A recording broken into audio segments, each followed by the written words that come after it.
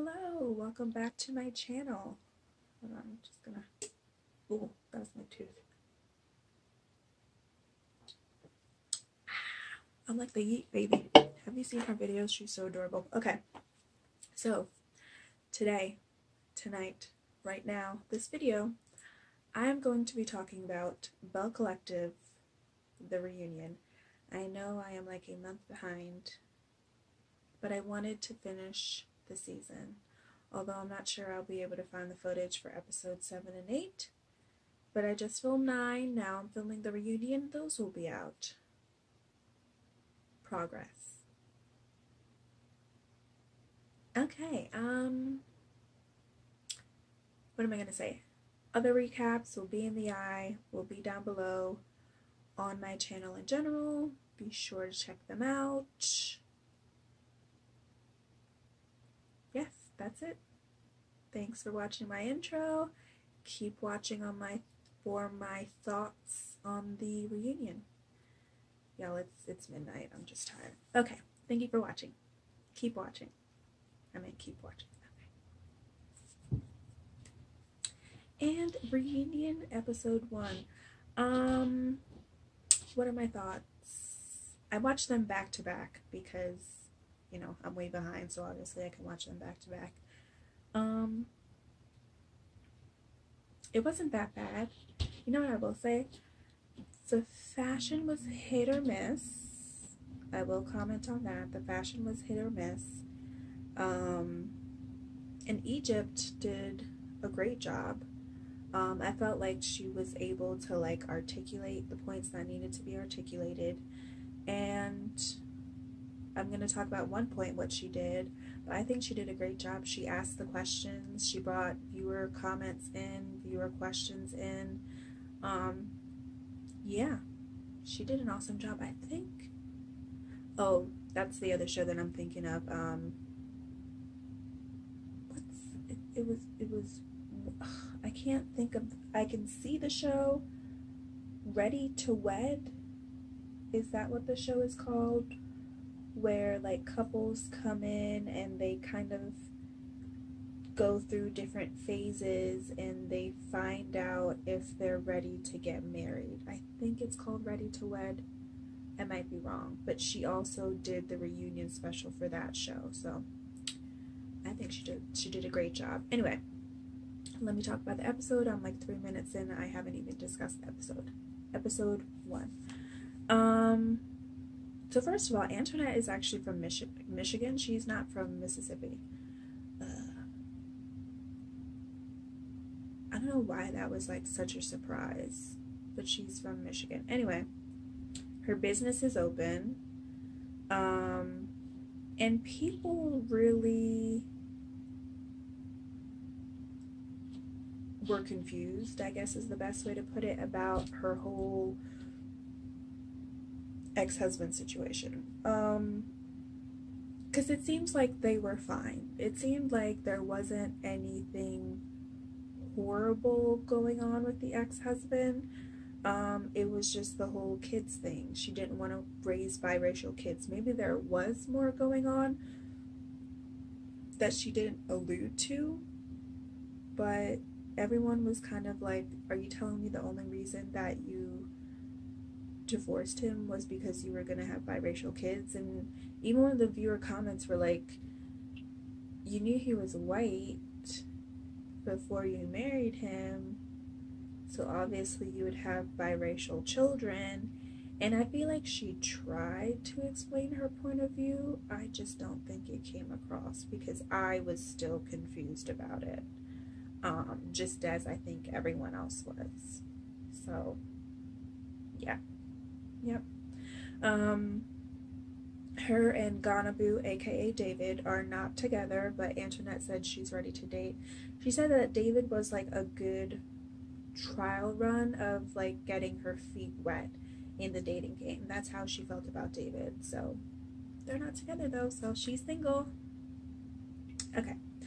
Um so, like right off the bat, um, Letitia accused Latrice of using the blogs to spread rumors.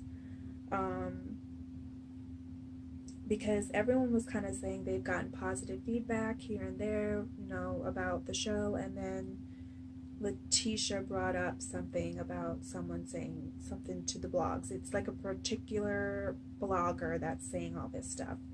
And um, Latrice is saying that she heard things and she brought it to Letitia's attention.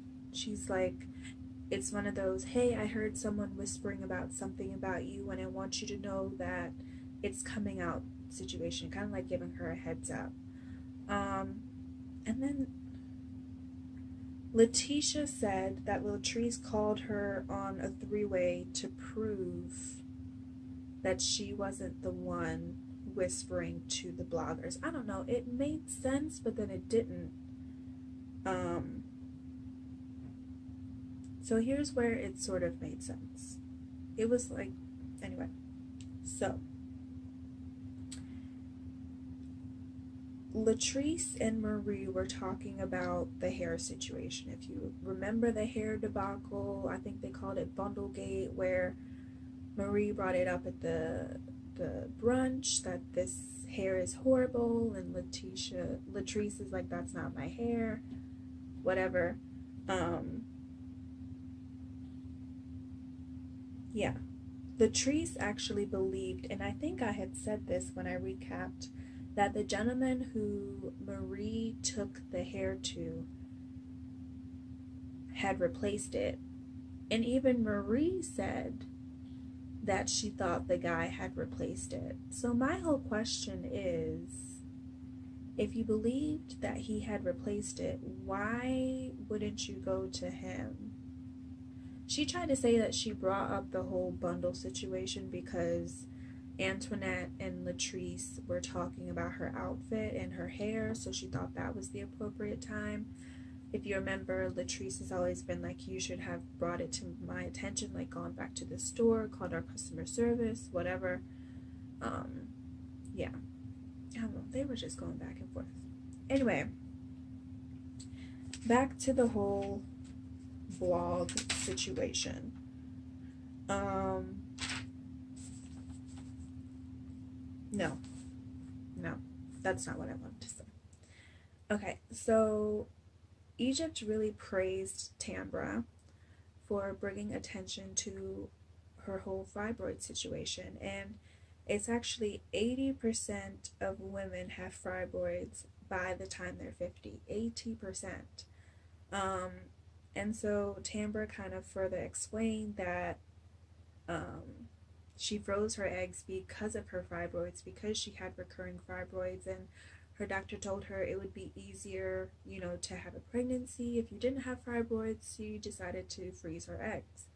Um, to which she revealed that she actually has embryos. She reveals that her and her boyfriend, you know, their egg and his sperm did a little thing in the lab and now she has frozen embryos so basically it seems like all she has to do is when she's ready is transfer embryos and she could get pregnant and have a baby um, she also mentioned that she's kind of working on um, getting her tv personality side of things she's already nailed radio she wants to do like entertainment TV host. That is her next step. So she said she's kind of looking into that and trying to further that part. Okay, so we went back to the Bundlegate, to which, and I kind of um, commend her here. Latrice and Marie were just going back and forth, back and forth. I mean, somebody talked, somebody talked over them, then over them, then over them, then over them. So Egypt got up and left. She she really walked out and I was surprised, but I'm like good on her. She really tried to get them to settle down, cut the crap, but they kept going. So she got up and left. Even the executive producer, Will, I think his name is Will. Um, he came in. No, Will is not his name. Michael? No. that doesn't even sound right. If I remember find his name, I'll leave it here. Anyway, the executive producer, Carlos. That sounds right. I'll leave his name here, but he came in and was like, Y'all need to stop. He said, Y'all are being disrespectful, cut it out right now. So they actually stopped when he came out, but I was surprised that some like the EP had to step in for y'all to stop, but at least they stopped, I guess. Um yeah. So one thing I noticed is during the whole Bundlegate thing when they were talking about it, Marie kept calling Antoinette an entourage. I don't know why. Anyway, that was a little rude. I mean, yeah. Okay, so they bring Kaylon out, or Kaylin, Kaylon out, and she reveals that she is the one that has been talking slash communicating with the blogs. And to say that I think I was shocked for sure, but I'm sure other people were also shocked if you were watching it because it seemed a little suspect.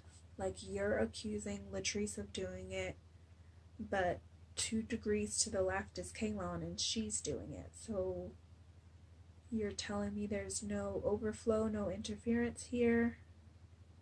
I don't know. That's where they ended episode one of the reunion. So, episode one done.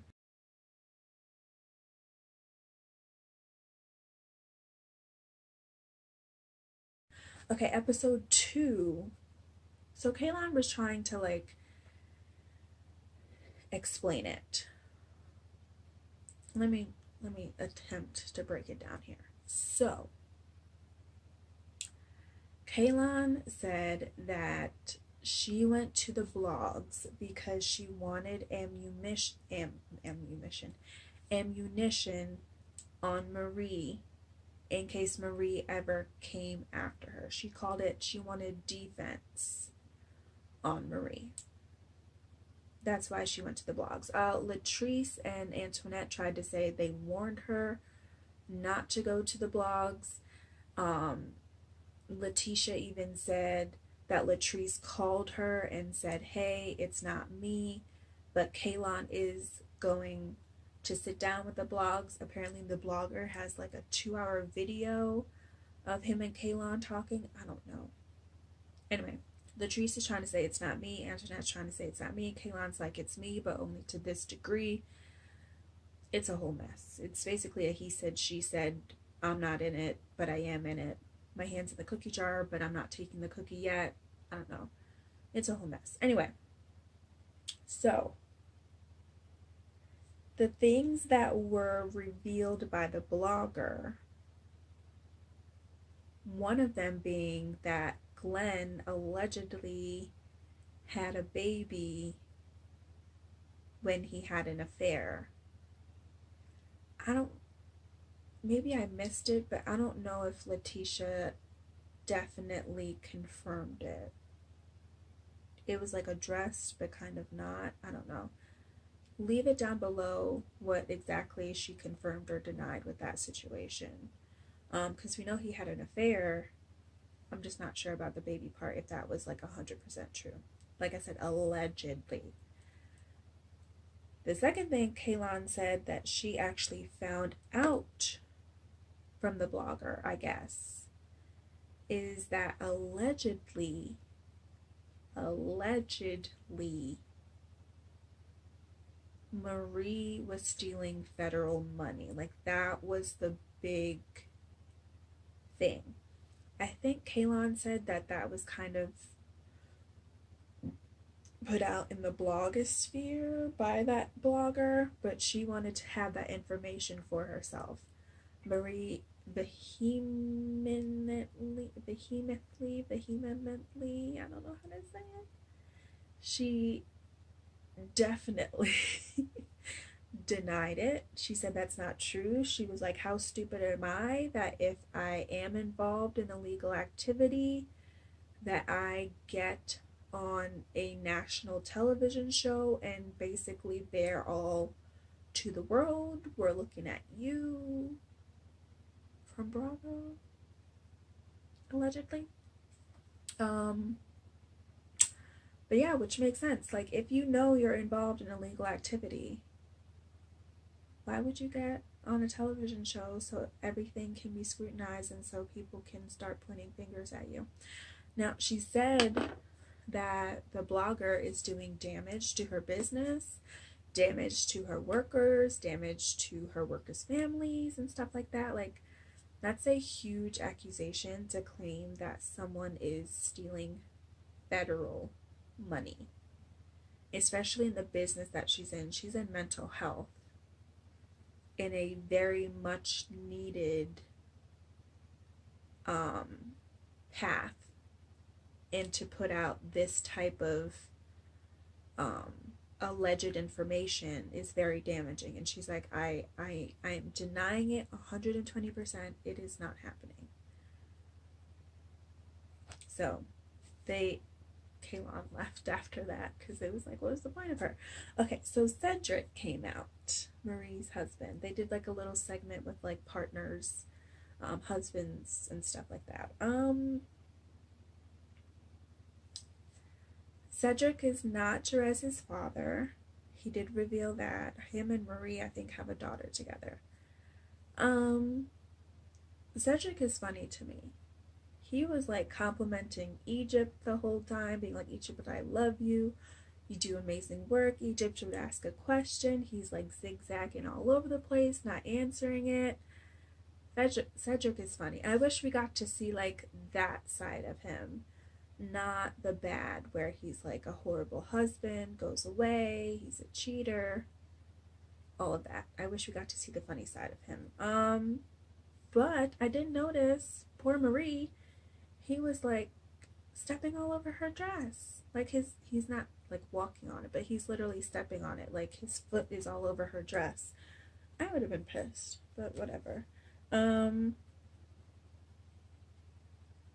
so they eventually invite Essie out and this was actually asked to Essie and Cedric.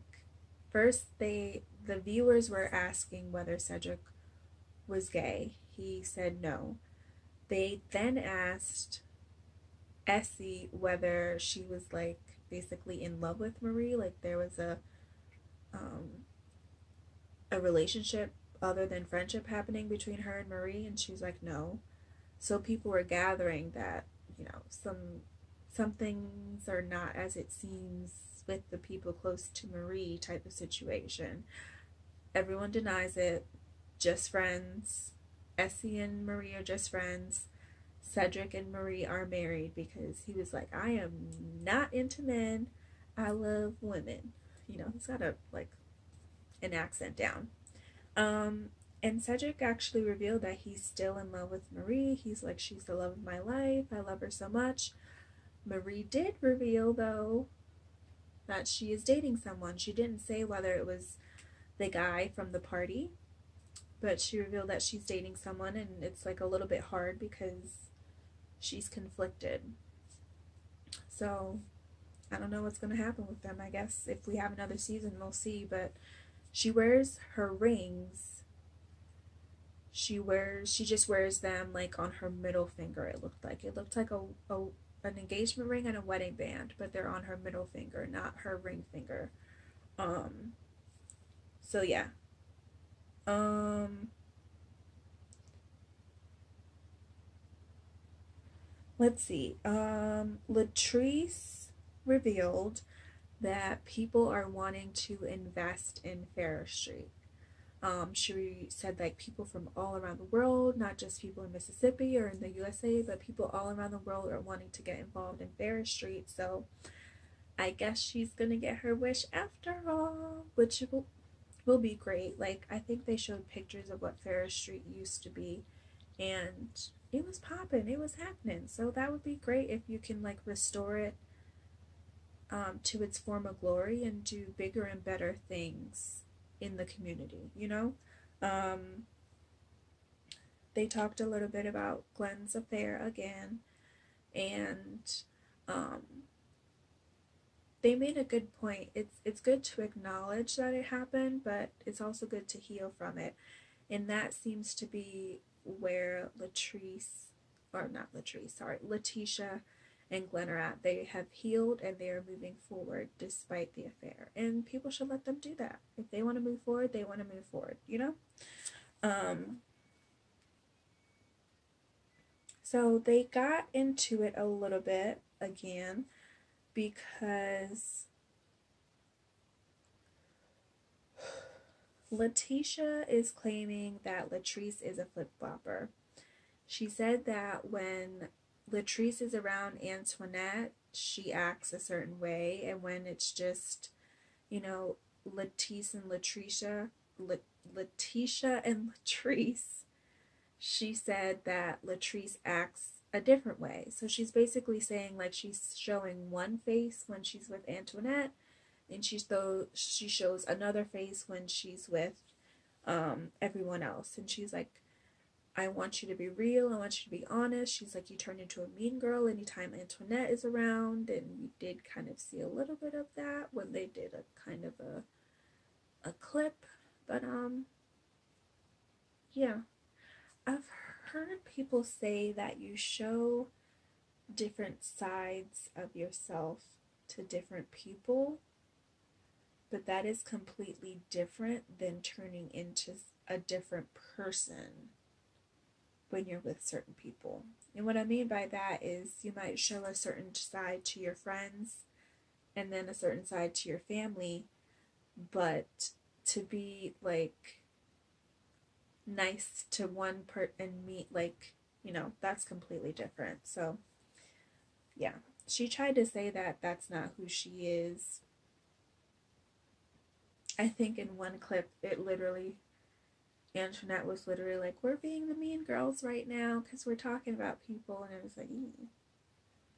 no that didn't age well okay so it kind of ended on this note which it seems strange. Okay, so Letitia accused, excuse me, Antoinette of flirting with Glenn and Cliff. I mean, she dropped this bombshell like 10 minutes before the episode ended, and I'm just like, what? She basically said that she had gone out to the car. Glenn was in the office in yeah, the sip and see. This all happened at the sip and see party. She said Glenn was at the sip and see and he said that Antoinette like handed him a bottle of Hennessy, but she like touched his hand in a way and Letitia tried to say that Antoinette was saying, Oh, go home and make a baby. And she's like, Why are you saying that if you're touching my husband? And she's like, You did the same thing to Cliff. And Latrice kind of backed it up. She was like, I did notice she was being a little bit flirty, but I brought Cliff to the side. I brought her to the side and they explained the situation, and it wasn't the way it was. So Antoinette ended up apologizing for the situation. She's like, I'm sorry if you took that as flirting, but it wasn't meant like that. Like, I didn't mean for it to come across like that. And I guess that was the end of it because Egypt cut, kind of tried to like cut it and then move to the last segment type of situation. But it was, it was so weird. Like, um, Antoinette tried to say like everyone was drinking, so you know, something, excuse me, like things weren't as they appeared type of situation, but it just seemed like an accusation out of left field. She's like, You were flirting with my husband, and Antoinette was like, I would never do that. That's not the type of person that I am. And Letitia was like, My husband wouldn't want you, or something like that. I don't know. It just, it seemed completely out of left field. So, um, and that kind of confirmed what Antoinette said, where she said she felt like she wasn't, she knew where she stood with everyone except for Letitia. And Letitia kind of confirmed, like, yeah, we're not good because you were flirting with my husband. And she was like, wait, what? That didn't happen. Yeah. Mm-hmm. And it kind of like ended with them, um, like addressing their hopes for the future and what what they hope, you know, in the next year, what the next year will bring type of situation. And they pop some champagne that's the end of Belle Collective season one. What did you guys think of Belle Collective? Would you like to see another season? Are you sick of Belle Collective? It does not have a great rating. I think it was like 4.7 out of 10, maybe? Maybe? I'm not sure. Um, I like the show. I wish it was longer. Um, it didn't have a ton of like drama, which I appreciated. But um